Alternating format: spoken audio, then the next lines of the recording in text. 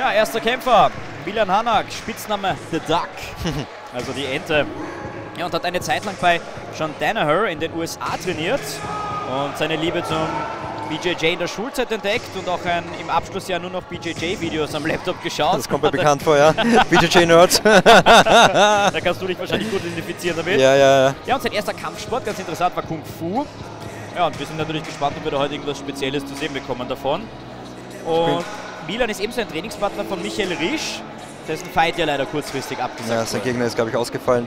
Aber ich bin mehr gespannt auf, was er bei John Danaher gelernt hat. Sein legendärer Coach in der BJJ-Szene, einer der legendärsten wahrscheinlich. Selber groß geworden unter Henzo Gracie in New York. Dort hat er begonnen zu trainieren. Ähm, ja, und jetzt ist er mit seinem Team New Wave in Austin, Texas. Und äh, Milan war dort einige Zeit und hat dort mit den Besten der Welt trainiert. Bin schon sehr gespannt zu sehen, ob er. Wie kommt er dazu? Das weiß ich selber nicht. Ich habe nur erfahren, dass er dort war. Aber auf jeden Fall High-Level Jiu-Jitsu dort. Bin gespannt, ob er den Kampf auf den Boden bringt, wo er Jiu-Jitsu zeigt heute. Genau. Milan eben vom Hiro Chum Feng Bao und sein Gegner Ebon Mohammad von der Champions Factory. Kommt ursprünglich aus Bangladesch und trainiert mit sehr starken Leuten in der Champions Factory. Und mir wurde gesagt, ein sehr, sehr, sehr respektvoller junger Fighter. Und der ist für die Gegner eben von Milan eingesprungen. Hm.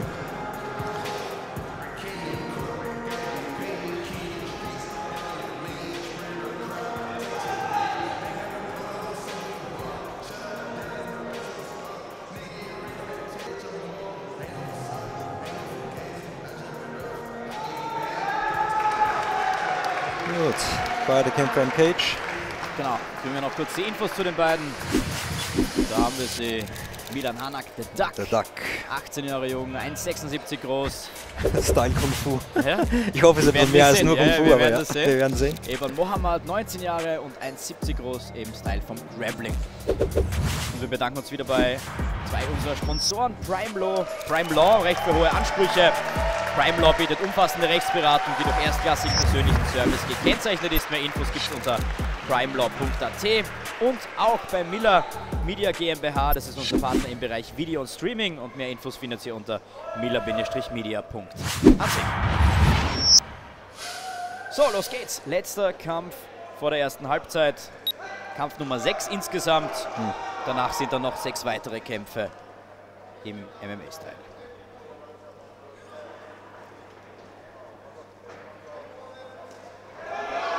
Das erste hat schon mal gesessen.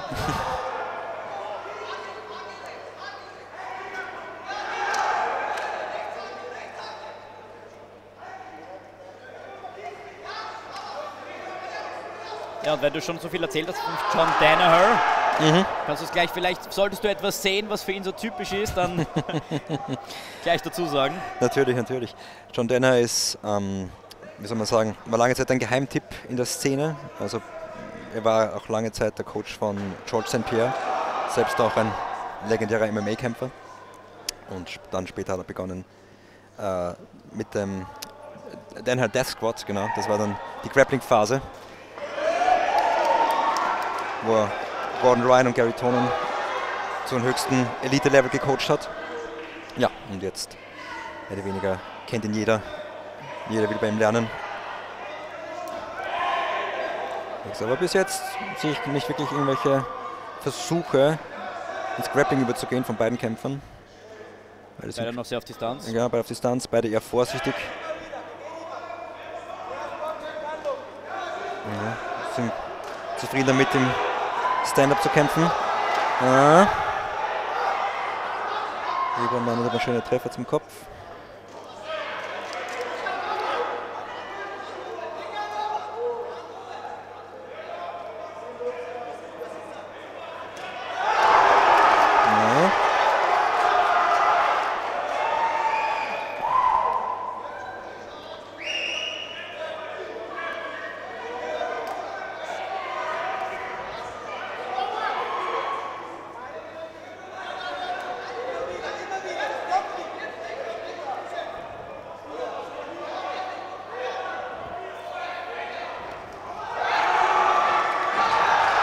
Jetzt sehen wir einen schönen Double Leg von Elon. Ebon, Verzeihung. Milan setzt einen schönen Butterfly Hook links. Schafft es wieder aufzustehen.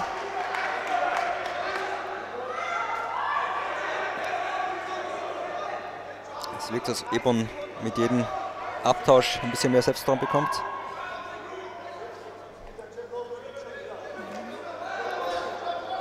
Milan noch eher zögerlich.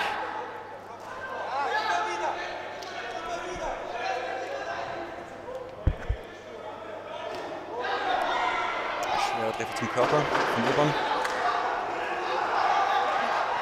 Und zum Kopf.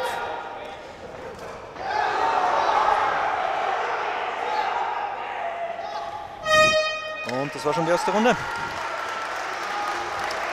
Ja, Milan, es wirkt, als ob Milan noch nicht ganz einen Rhythmus gefunden hat. Er ist noch ein bisschen zögerlich. Äh, Ebon hat von Minute zu Minute mehr, mehr Selbstvertrauen bekommen. Selbstvertrauen bekommen, mhm. ja. Der Double hat ihm noch mehr Selbstvertrauen gegeben, hat dann gesehen, er ist immer mehr weiter nach vorne gegangen, immer mehr initiiert. Ja, und Milan muss vielleicht versuchen, jetzt ein bisschen den nächsten Gang einzulegen, wenn er die nächste Runde gewinnen will.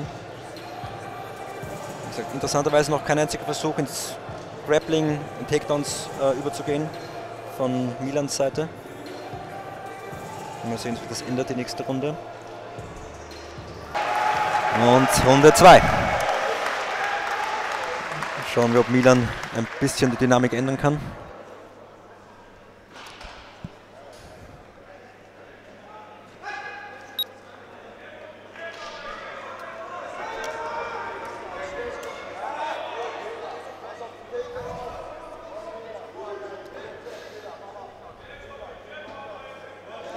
Ja, schöner High Kick zum Kopf.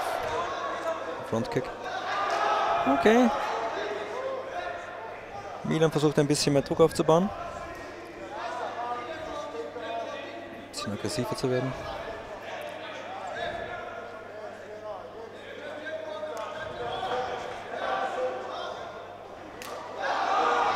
Hm. Schön den Loki gefangen. Schlagabtausch am Käfig. Er wirkt immer ruhiger mit jeder Minute. Ja, ja, ja. Ebon.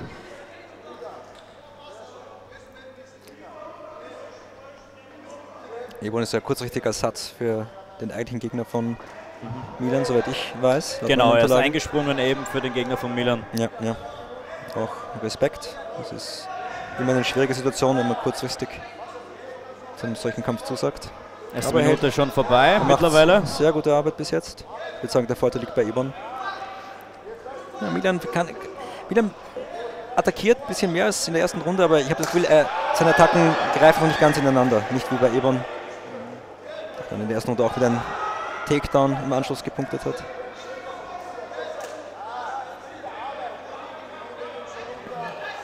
Und bis jetzt würde ich sagen, ist noch relativ ausgeglichen die zweite Runde. Ah, Vielleicht ein leichter Vorteil für Ebon. ich würde sagen, er hat schon mehr Treffer gelandet, ja. Aber interessant, beide haben es Stil Grappling. Oder zumindest Ebon. Aber es ist ein sehr stand-up-lastiger Kampf bis jetzt.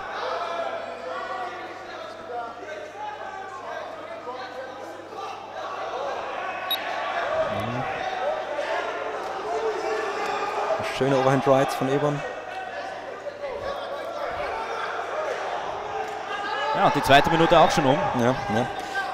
Also bisher hat sich noch nicht wirklich viel geändert von dem, Nein. was bisher passiert ist. Und zwar, dass Ebon den Kampf immer besser dominiert eigentlich. Ja, ja, wie gesagt, mit jeder Minute kommt er immer mehr in seinen Rhythmus, in seine Distanz. Und Milan bestraft ihn nicht wirklich dafür, dass er näher, wenn er näher kommt. Er hätte vielleicht ein bisschen mehr Möglichkeit. Aber gut auch geblockt. Ja.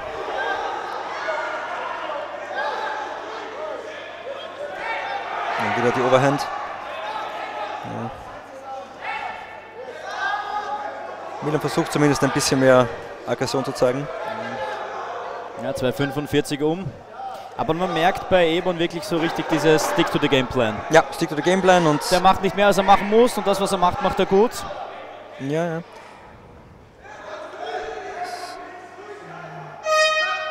Genau, drei Minuten sind um. Sind wir um. Ich würde sagen, sehr ähnlich der ersten Runde. Milan hat sich bemüht, ein bisschen mehr zu zeigen, aber ich denke, Ebon hat nach wie vor klar die besseren Treffer gelandet.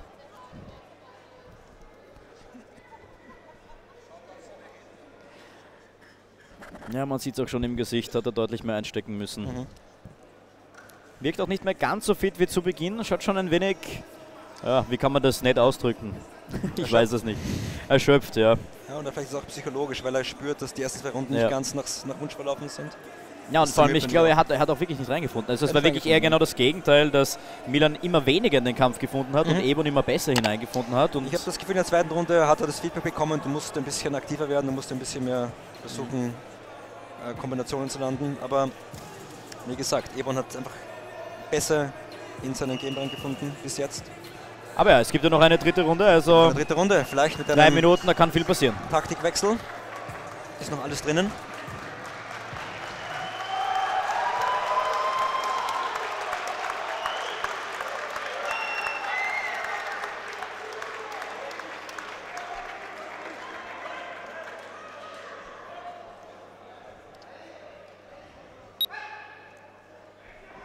So, Zeit läuft. Drei Minuten.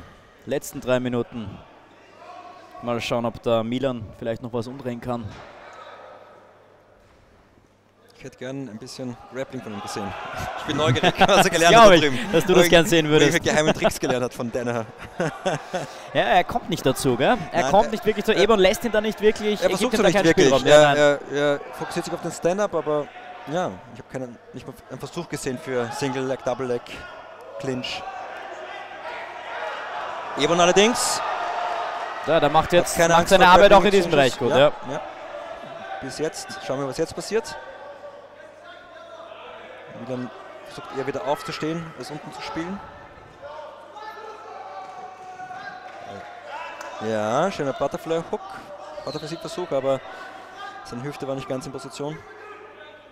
Jetzt hätte er vielleicht wieder eine Chance, wenn er ein bisschen heben kann. Erste Minute mal um. Der Versuch, eine Beinattacke zu kombinieren. Aber der entscheidet sich wieder in den Standard überzugehen. Ja, das war vielleicht eine Spur zu stürmisch von Ebon. Ja, kommt wieder weg. Ja, aber bisher läuft eigentlich alles nach Plan für Ebon Mohammad. Also er ist für mich klar der äh, Führende bis jetzt. Wenn es so weiter läuft, dann Hälfte der dritten Runde ist um. Ich glaube, Milan spürt ein bisschen schon den Druck, den noch was zu machen. Ja, müsste jetzt eigentlich, er müsste jetzt eigentlich ein bisschen mehr Kamikaze machen. Weil ja, er, müsst, äh, er muss riskieren. Weil wenn, er, wenn es sich jetzt nichts mehr ändert in den letzten ja. 1 Minute 15, in diesen ja. 570 Sekunden, dann, ja, aber ja. es sieht nicht so es aus. sieht nicht so aus, nein. Milan ist glücklich, die Distanz zu halten, wieder aufzustehen. Aber die Frage ist, was jetzt? Wenn er so weitermacht, dann wird nicht viel mehr passieren. Er müsste jetzt aggressiv Doubles shooten. Ich glaube, ihm ist einfach das, ihm fehlt das Konzept. Er weiß nicht, was er machen soll. Ja. Man sieht es auch ein wenig, er tänzelt da viel hin und her, aber es kommt nichts. Er committet nicht wirklich. Er, er, macht er, er fängt an und hört wieder auf. Und wenn Ebon loslegt, zieht er durch. Und das Man merkt doch schon, dass die Schläge langsam langsamer werden. Also die Energie ist auch schon draußen. Ja, ja, ja. Sind jetzt auch nur mehr knapp 30 Sekunden in dieser letzten Runde. Ja.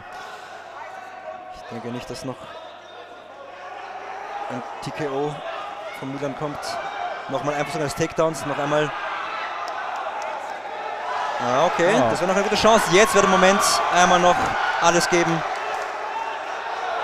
Mit Schlägen durchhageln. Ja. Noch 10 Sekunden. Ebon. Ja, das war, das war klar, dass er das runter... Genau, ja. Er ringt wieder nach oben, hat einen Bodylock. Hier gibt es noch eine Chance auf einen, auf einen Uchimata, aber ja. das war's zeitmäßig. Auch wenn das Ende jetzt nicht schlecht war von Milan, ich glaube trotzdem den restlichen ja. Kampf über. Das hätte früher passieren müssen, das hätte schon genau. in den ersten zwei Runden zeigen müssen. Dann hätte er vielleicht bessere Chancen gehabt.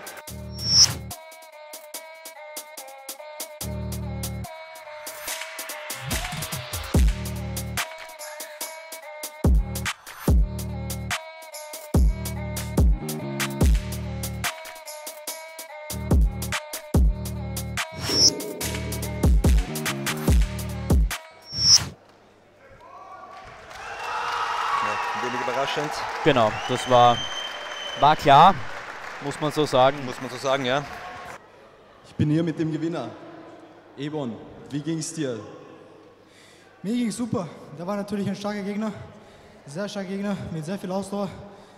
Stark auf jeden Fall. Was kann man sagen? Nicht ganz meinen Plan, nach Plan gemacht, Trainer ist ein bisschen böse, weil ich nie nach Plan gemacht habe. Aber ich hoffe, ich habe eine Show geliefert. Ich hoffe, euch gefreut. Die Show war auf jeden Fall gegeben. Man ist es aus Teamkolleg von Teamkollegen von dir gewohnt. Äh, Ground and Pound, Smash, Takedown. Ähm, Wäre das der ursprüngliche Plan gewesen? Ja, natürlich. Fast gar nicht auf Stand, sondern nur noch Boden. Aber wie man sieht, ist Milan sehr stark am Boden. War es natürlich schwer für mich. Aber wir haben eine geile Show geliefert, den Stand. Zwei Grappler. War schön.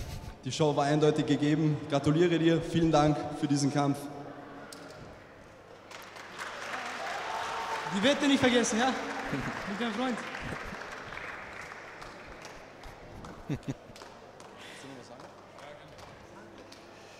So, zweites Interview auch. Milan Hanak. Milan, dein erster MMA-Kampf.